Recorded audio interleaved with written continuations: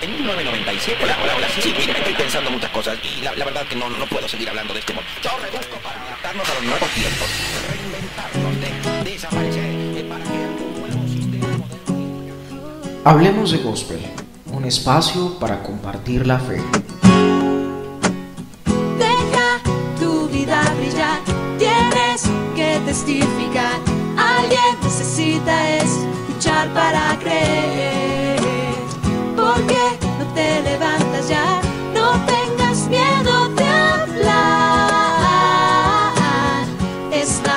La razón por qué Dios te encontró.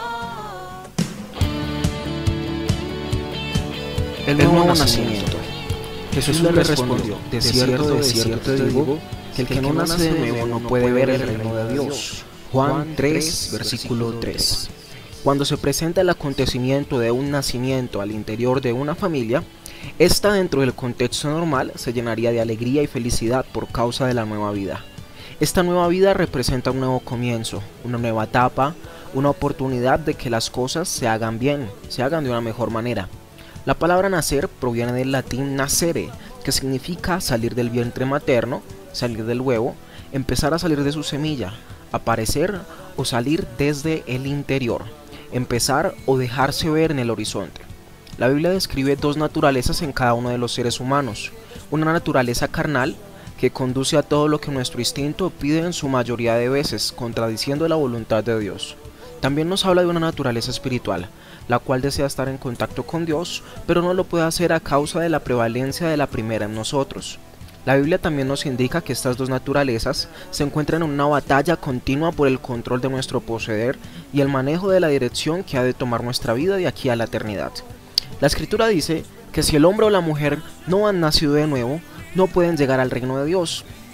Esto significa que todo hombre que no haya hecho salir del huevo o nacer desde el interior de su semilla, así como del interior o del horizonte de su vida la naturaleza espiritual, que es la que puede y desea estar en contacto con Dios, no puede ver el reino de Dios. Para todos los seres humanos, sin importar su condición particular, está establecido esto así para los creyentes como para los incrédulos, hombres y mujeres, ancianos y jóvenes, ricos y pobres. No hay manera de evadir el requisito del nuevo nacimiento. ¿Qué es el nuevo nacimiento?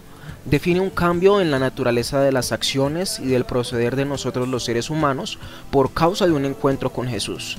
Define el trabajo desarrollado por Dios en nuestra vida a fin de garantizar que no pasemos por encima del sacrificio que su Hijo Jesús hizo por nosotros.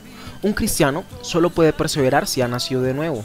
Si este hecho no se ha producido, será imposible una vida cristiana estable y separada del pecado. Es necesaria la manifestación de esta nueva naturaleza para todos aquellos que desean ir al cielo. Este nuevo nacimiento se produce como resultado de recibir de manera genuina a Jesús en el corazón, entregar a Dios el control de mi destino, permitiendo que Él sea mi Señor y desarrollando una comunión constante y permanente con Él a través del Espíritu Santo. ¿Qué no es el nuevo nacimiento? El nuevo nacimiento no es un cambio en la orientación religiosa, no es solo un cambio frente a la manera de ver la vida, no es solo un cambio de la manera de vestir o de hablar. El nuevo nacimiento es, en su sentido más puro, ser como un bebé que llega a una nueva familia, en este caso a la familia de Dios, para ser formado, alimentado, instruido y crecer según todo lo que Dios ha establecido desde el principio.